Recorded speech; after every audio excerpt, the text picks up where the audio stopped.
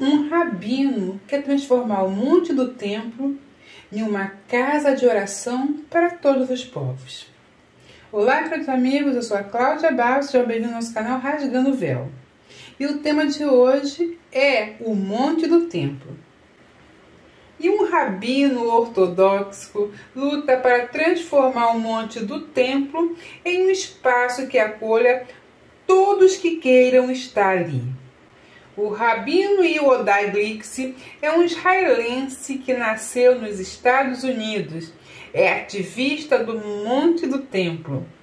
Ele luta para que todos tenham acesso universal ao Monte do Templo, que é o local que a gente já sabe considerado mais sagrado pelas três religiões monoteístas, que é o judaísmo, o islamismo e o cristianismo.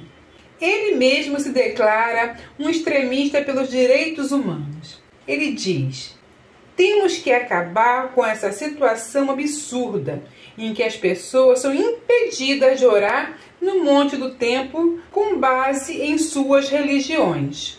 Atualmente, todo aquele que não é muçulmano só pode visitar o local sagrado sobre fortes restrições, não podendo sequer orar ali.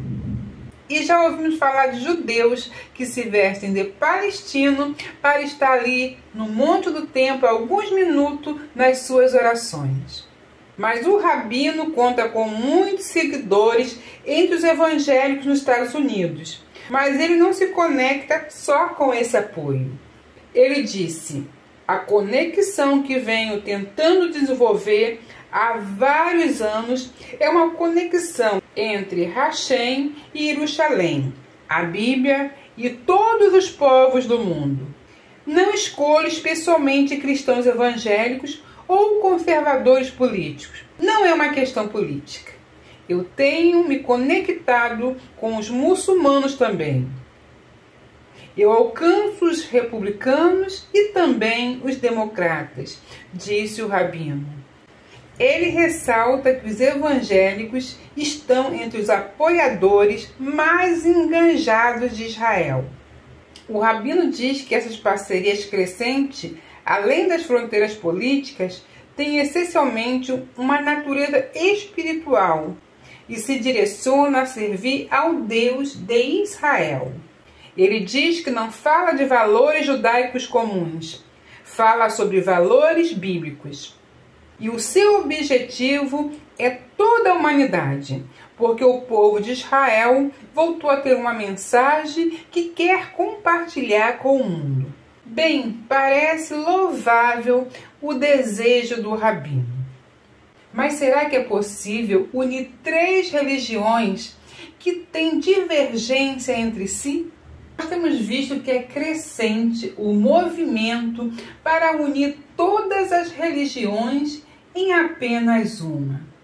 Uma religião mundial, onde todos vão adorar indiferente do crédulo.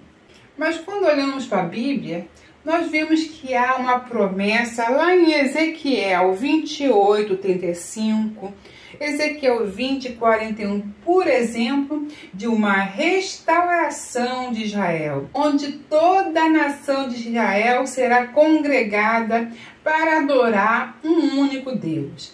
E essa restauração que é prometida, somente o próprio Deus poderá fazer agora. Por mais que tentemos inovações, somente Deus fará essa restauração ali em Israel. E não será várias religiões tentando orar num lugar, várias nações adorando a um único Deus. Apesar de propostas muito bonitas, ainda não está de acordo com aquilo que as Escrituras, ou como o Rabino diz, com a Bíblia, que é a restauração real e verdadeira onde haverá uma adoração em espírito e verdade no monte do templo ao Deus de Israel para todo sempre. E nós aguardamos pela última restauração da face da terra. Espero que você tenha entendido essa mensagem, fique com essa palavra e até o próximo vídeo, se Deus quiser.